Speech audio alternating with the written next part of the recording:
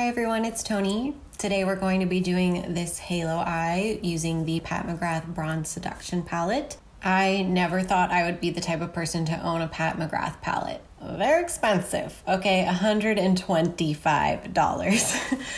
I did get mine on sale. That being said, it was still $87. Okay. But after opening it, seeing the packaging, seeing the quality, I understand why they are priced the way they are. And after having lots of friends tell me that it was worth it, and then I was watching Julia Adams, and she was talking about how she can always tell when somebody's wearing a Pat McGrath shimmer because they're that good. And she's right. So, if you do have the Pat McGrath Bronze Seduction palette and you want to follow along with my little tutorial to get this halo eye, then let's get into it. This is what the package looks like. The artwork is so, so cool, absolutely beautiful. I already took the palette out, so one sec. This is what the palette looks like. It is very sturdy, hefty, thick plastic packaging. I definitely see where the price point comes from because of this. When you open it up, there is a mirror on the inside, and then these are the shadows. Absolutely stunning. They have quite a few colors that have a shift to them. There are only a few matte shades, which makes our options limited to doing a whole look with one palette, but we can make it work. First, I'm going to put some concealer on my eyes. This is the Born This Way multi-use sculpting concealer. Then I'm just going to take this MAC highlight contour palette and use the cream shade here to set my eyes.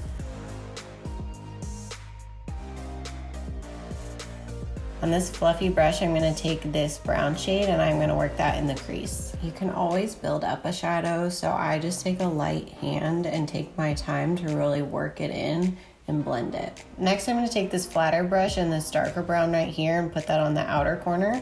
I'm just patting it in at first to build up the pigment and then I'll go in and blend. I like to go above my natural crease because I have such deep set eyes that I feel like if I don't bring it above my crease, you won't be able to see it. Again, just take your time adding the pigment to be the desired color that you want.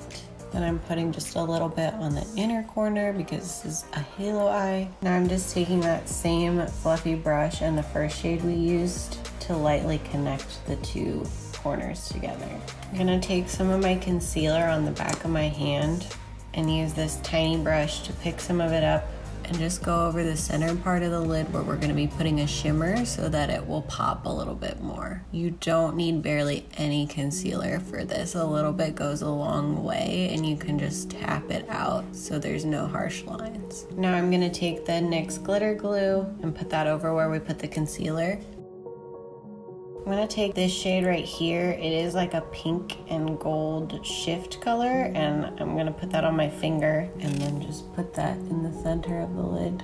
Next I'm gonna take this flat brush and that first brown shade we put in our crease and I'm just going to pat where the outer corner meets the shimmer to blend that together. Same with the inner corner here. And one more time, I'm gonna take the fluffy brush and the original brown shade, just a little bit of it to blend everything together. With blending, it's all about taking your time and doing very light motions. Just to amp up the shimmer, I'm gonna take this white shade that has some yellow flecks in it and put that right at the center of the lid. Yeah, you can tell the difference. I have this sample of the Ole Henriksen Banana Bright Primer. It's fine, it's just a moisturizing primer. I'm just trying to kind of use it up. Now I'm taking the e.l.f. Poreless Putty Primer. I just kind of work that right in my cheek area, which is where my pores are most visible. So this kind of fills them in a little bit, gives a smoother appearance. I didn't used to be a fan of pore filling primers, like especially the silicone ones, because I just thought they made my makeup look bad and made my skin feel slimy almost. But the texture of this dries down pretty well, and I don't have that problem. I'm gonna take my Becca under eye corrector in light medium and just put that in the inner corner of my eye here and right where my lines are most prominent, I have pretty hollow under eyes, so this just helps brighten everything up. Today I'm going to use the Wet n Wild Photo Focus Dewy Foundation. The original one of these was way too matte for me. I have dry skin, so that was too much. And it does smell like paint. Um, this one does not have that strong of a fragrance, but I don't think that it is that dewy. It's not my favorite. I feel like it looks good for the first couple of hours, but after that, it starts to look a little bit dry and separate. And because it dries down so quickly, I feel like I have to work in sections when I put it on. Next, I'm taking my Milk Makeup Bronzing Stick and this Real Techniques, I think it's a setting brush. And I just put that right above the hollow of my cheek, kind of right where the bottom of my cheekbone is. I put a little bit on my temples just to make everything cohesive, but I have a relatively short forehead, so I don't feel the need to contour or make it look smaller. I'm gonna go in with the First Aid Beauty Bendy Avocado Concealer. I like to put my concealer on after I do the cream bronzer because I feel like it just helps tie everything together, make it cohesive when I blend it out so it's not too harsh.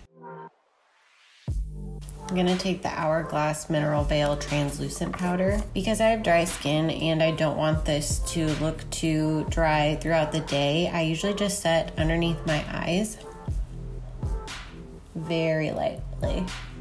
And then I just take whatever's left and I put that around where I'm gonna be putting my powder products on my cheeks. I'm gonna go back into that MAC contour palette. I'm gonna take these two shades right here, mix them together, and I'm gonna put that right in the hollow of my cheek. I use a back and forth motion to set the product down, and then I'm gonna go in with circular motions going upward to blend it out. Back and forth, and blend.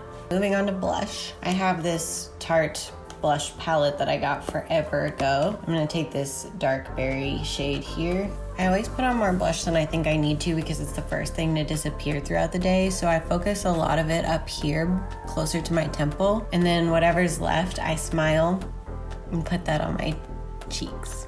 I'm gonna go in with the Anastasia Amrezy highlighter. This was limited edition, so you can't get it anymore. I'm very sorry, but it's a beautiful gold highlighter that is very subtle and works even on my fair skin.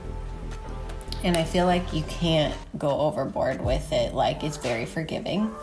A little bit on the nose. Then I'm just gonna take this brush and kind of blend the blush and highlight together. No harsh edges, of course. Next, I'm just gonna take a flat brush and the darker color that we put on our outer corner, and I'm gonna bring that underneath the lash line about halfway. I'm gonna take this pencil brush and the first brown shade and just smudge that out and bring that all the way in. I'm gonna take the highlighter we used in this very small brush and just put that in the inner corner. I'm gonna use the Urban Decay All Nighter Setting Spray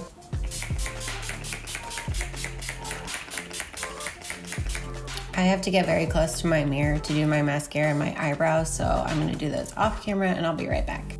For our lips, I'm gonna use this very well loved NYX lip liner in the shade Natural.